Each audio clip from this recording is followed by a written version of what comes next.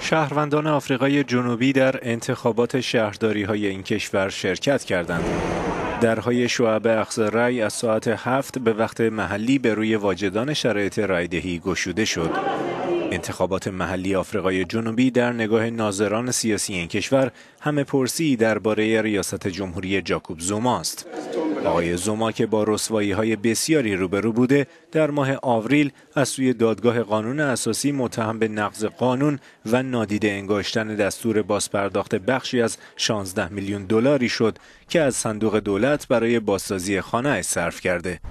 بانک مرکزی آفریقای جنوبی رشد اقتصادی را در سال جاری میلادی صفر پیش بینی کرده و از هر چهار شهروند آماده کار یک تن فاقد شغل است.